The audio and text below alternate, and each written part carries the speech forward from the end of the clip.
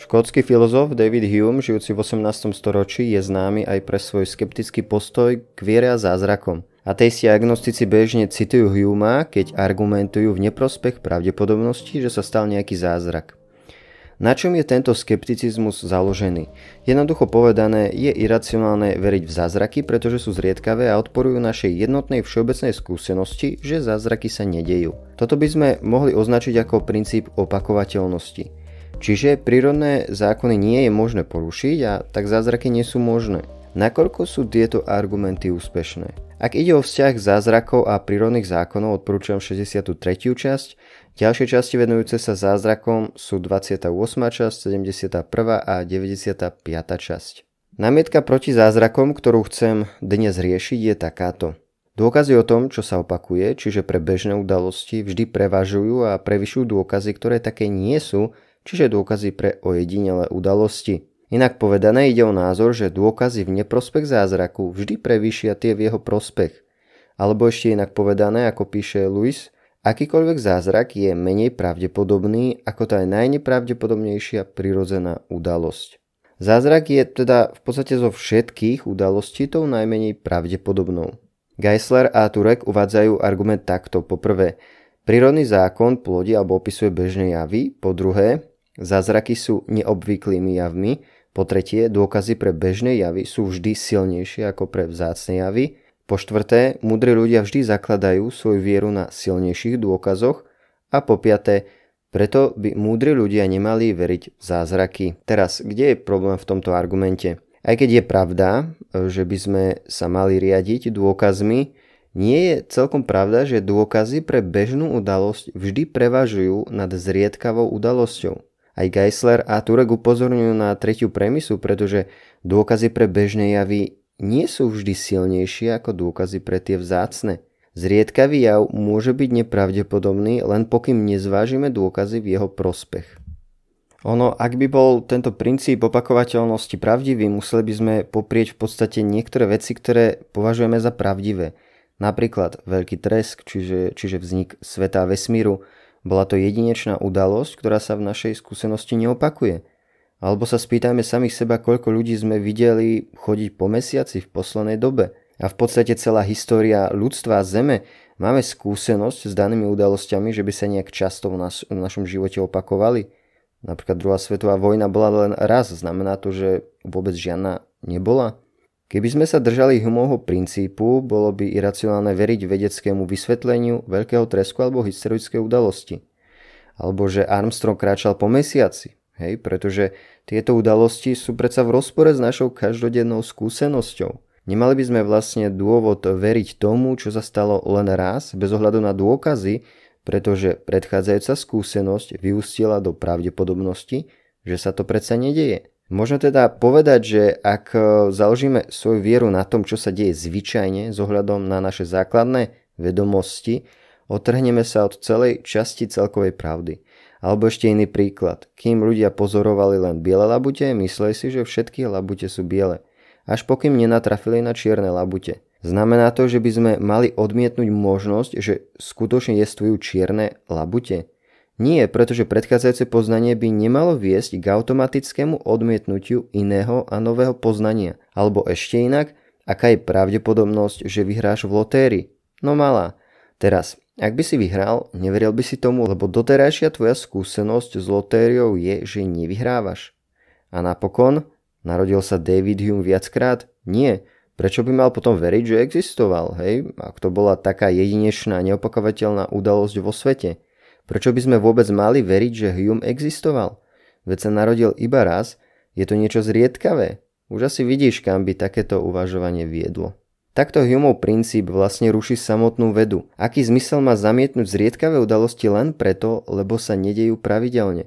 Veda predpokladá možnosť objaviť nové veci, ktoré sú v rozpore k našej doterajšej jednotnej skúsenosti. Vedecké zákony a teórie sa revidujú a upravujú.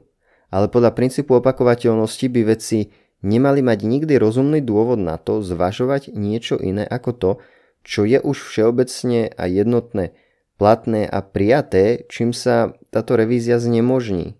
Ďalej, podľa Humovho pohľadu, zázraky sú už vopred diskvalifikované, pretože sú v podstate zriedkavé alebo vzácne. Popiera zázraky práve preto, že sú zázrakmi. Vedec ateista Jerry Coyne povedal, že by potreboval okrem iného replikované dôkazy. Tento argument však tiež zlyháva, pretože nemožno zázrak vylúčiť kvôli tomu, že by to bola zriedkavá alebo nejaká vzácna udalosť. Pretože to je podstatou zázraku, že to je niečo mimo bežného poriadku a chodu veci. Aj preto vieme vlastne určiť, čo môže byť zázrak a čo nie. C.S. Lewis upozornil, že aby sme boli schopní rozpoznať zázrak, vesmír musí preukazovať zákonitosti, ktoré sú známe. Okrem toho, históriu opakovať nevieme. Nemôžeme niekoho znovu zastreliť, aby sme zistili, či vstane z mŕtvych. Ak sa pozrieme konkrétnejšie napríklad na Ježišovo z mŕtvych stanie, tak v podstate, ak bolo Ježišovo z mŕtvych stanie zázrakom, to si vyžaduje, aby ostatní ľudia zostali v hrobe mŕtvi. Inak by sme nevedeli, že to bol zázrak a Boží zásah. Tento argument proti zázrakom je argument v kruhu. Popierajú sa zázraky práve preto, že sú zázrakmi. Ale preskúmal niekto každú jednu udalosť, aby mohol tvrdiť, že žiadny zázrak sa nikdy nestal? Alebo ako môžeme povedať, že všeobecná ľudská skúsenosť je dôkazom proti zázrakom, keď mnoho ľudí malo nejakú duchovnú a nadprirodzenú skúsenosť, minimálne si to myslia. Z tohto pohľadu sa zdá, že ľudská skúsenosť v tomto nie je až tak jednoznačná a taká rovnaká. Louis to píše takto. S Humom samozrejme musíme súhlasiť, že ak je táto skúsenosť bez výnimky vždy rovnaká, potom svedčí proti zázrakom, inými slovami, ak sa zázraky nikdy nestali, nie je dôvod, prečo by k ním malo dochádzať. Skúsenosti popierajúce zázraky však môžu byť vždy rovnaké len vtedy, ak vieme, že všetky správy o zázrakoch sú nepravdivé. To môžeme vedieť len vtedy, ak vieme, že sa žiadne zázraky nikdy nestali, takže argumentujeme v kruhu. Konec citácie. Skúsenosť svedčí, že zázraky sa nedejú a zázraky sa nedejú, pretože proti ním svedčí skúsenosť. A takto sa teda točíme v kruhu a predpokladáme to, čo sa snažíme dokázať. Otázky, či sa dejú zázraky a či je kolobeh prírody absolútne nemenný, sú v podstate jednou a to istou otázkou položenou rôznym spôsobom. Hume s nimi narába tak, ako keby išlo o dve otázky. Najprv odpovie áno na otázku, či je príroda uniformná a potom toto áno použije ako základ, z ktorého vzíde odpoveď nie na otázku, či sa dejú zázraky. Krefta tačali na námietku, že zázraky porušujú pravidlo uniformity prírody, odpovedajú takto. Čo sa myslí pod pojmom uniformita prírody? Ak to znamená, že čokoľvek, čo sa udeje, dokážeme vysvetliť samotnou prírodou ako príčinu s prirodzeným následkom, potom z námietky robím princíp, ktorý nepotrebujem dokazovať, ako by sme povedali, že zázrak nemôže byť, lebo protirečí princípu, že zázraky neexistujú. Aby Boh poskytol znamenie o svojom zásahu do sveta, potrebuje to byť e, iné oproti prirodzenému poriadku a chodu veci. Inak by bol zázrak niečo, čo sa deje bežne a teda by sme ho nerozpoznali. Uniformita prírodných zákonov nie je teda evidenciou proti zázrakom. A ak ide napríklad o Ježišovo zmrtvých stane, tak možno sa pravdepodobnosť zvyšuje práve preto, lebo by Boh konal takýmto vzácným a nezvyčajným spôsobom. Aj Craig Keener v rozhovore s Listrobelom uviedol, že Humeová argumentácia je len argumentácia v kruhu. Citujem, jeho argumenty proti zázrakom sú založené na postulátoch a dôkazoch v kruhu. Čiže ono ide o to, že argument tu začína už s predpokladom, ktorý vyústi do záveru, ktorý daný predpoklad potvrdí. Čiže začína vlastným presvedčením o tom, ako funguje svet a toto presvedčenie, napríklad naturalistický pohľad na svet, čiže že zázraky sa nemôžu diať, vopred vylúči možnosť akéhokoľvek zázraku. Podľa Kínra Hume definuje zázrak ako porušenie zákona prírody a zákon prírody definuje ako princíp, ktorý nemôžno porušiť. Možnosť zázrakov teda vylúčuje hneď na samom začiatku. Predpokladá, že to, čo už raz uviedol, aj preukáže – ale toto je dôkaz v kruhu. V podstate je to obyčajný predsudok voči nadprirodzeným veciam a nie presvedčivý filozofický argument. A čo s tvrdením, že z našej všeobecnej ľudskej skúsenosti vyplýva, že zázraky sa jednoducho nedejú? Kinner hovorí, že toto je tiež len tvrdenie, nie argument.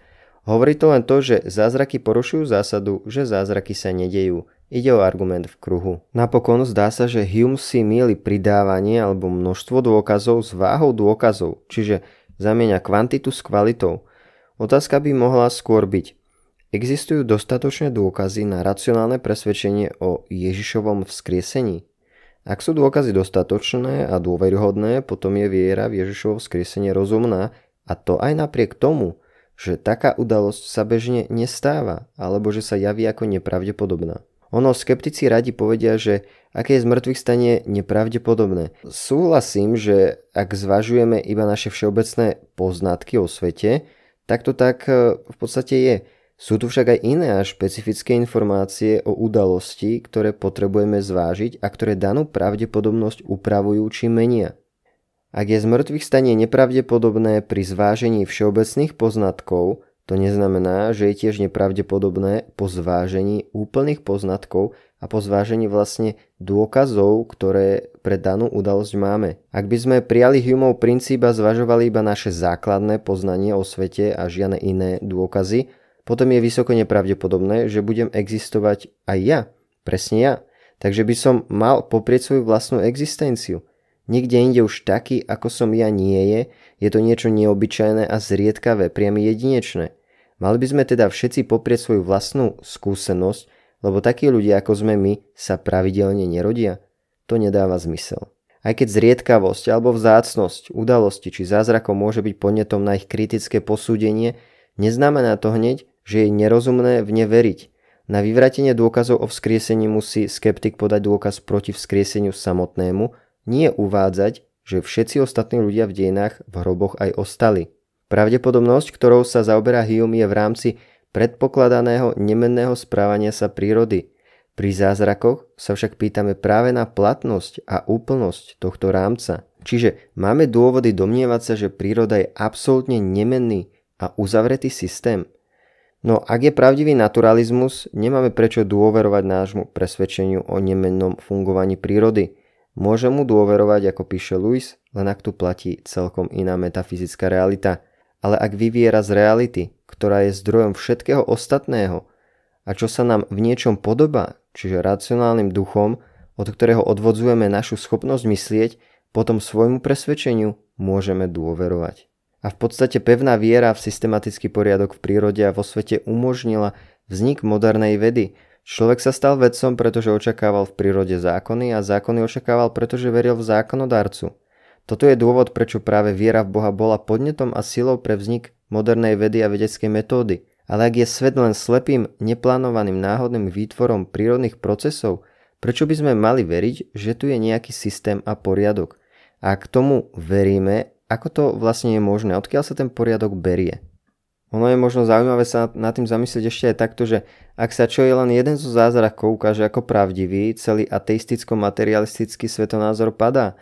Pri viere nevadí, keď sa niektoré svedectvá o zázrakoch ukážu ako falošné. Môj svetonázor prežije, aj keby bolo 99% zázrakov nepravdivých, čiže stačí napríklad 1% pravdivosti. Ale svetonázor ateistu padá, ak sa čo je len to 1% ukáže ako pravdivé, Čiže potrebuje 100% dôkazov a 100% istoty, že žiadny zázrak sa nikdy nestal a ani sa stať nemôže. Čo je viac pravdepodobné? Že sa nikdy neuskutočnil žiadny zázrak a že sa nikdy ani nestane, alebo že sa aspoň jeden už niekedy stal. Čo je viac pravdepodobné? Že aspoň jeden je pravdivý, alebo že sú všetky falošné. Ak sú aj falošné, ako to my môžeme vedieť? Na záver Luisová trefná poznámka. Hovorí, že moderný historik neuzná zázrak, ak najprv nevyskúša všetky možné prirodzené vysvetlenia.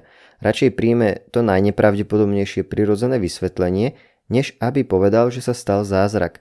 Kolektívna halucinácia, hypnóza svetkov bez ich súhlasu, všade prítomná okamžitá konšpirácia založená na klamstve osôb, o ktorých nie je známe, že sú to klamári, a to bez toho, aby za to niečo získali. Toto všetko sú veľmi nepravdepodobné udalosti tak nepravdepodobné, že by ich nikto nenavrhol ako vysvetlenie s výnimkou tohto zvláštneho prípadu, kedy ide o to vylúčiť možnosť zázraku. Pre Huma boli zázraky v rozpore so zákonom prírody, no zákon prírody bol vždy nemenný a jednotný. A tak by ho žiadny dôkaz na svete nepresvedčil o zázraku. Akékoľvek vysvetlenie by bolo lepšie než zázrak. Premisa je tu taká, že dôkazy pre bežné udalosti sú vždy väčšie ako pre zriedkavé a teda Tie zriedkavé máme odmietnúť. Avšak je v povahe zázraku, že sa nedie bežne a práve preto ho vieme aj rozpoznať. Čiže Hume odmieta zázrak už z princípu, že to je zázrak. Okrem toho, jeho premisa nie je celkom pravdivá. Poznáme veľa zriedkavých udalostí, ktoré sa neopakujú a máme dôvod veriť v ne. Napríklad historické udalosti. Aj veda hľadá nové veci, čiže Humeov princípy znamenal poprieť vedecké bádanie. Tento štandard a skepticizmus reflektuje predsudok voči nadprirodzeným veciam, nie objektívny štandard posudzovania. Ak vopred vylúčime možnosť existencie nadprirodzenej reality, potom samozrejme, že hocičo bude viac pravdepodobné ako zásah takéto reality do nášho prirodzeného sveta. Kritika voči zázrakom je často argumentáciou v kruhu, čiže začína sa s tým, že zázraky sa jednoducho nedejú, alebo že bude vždy iracionálne v ne veriť, lebo sú vysoko nepravdepodobné. Takto nás skeptici a ateisti vlastne pobadajú zázraky odmietnúť ešte predtým, ako sa pozrieme na dôkazy v ich prospech. To je však opak toho, čo propagujú. Objektívne a racionálne skúmanie s otvorenou mysľou. To je z mojej strany na dnes všetko. Ďakujem za vypočutie. Kľudne zdieľaj, komentuj e, príspevky a podcasty a maj ešte pekný zvyšok dňa.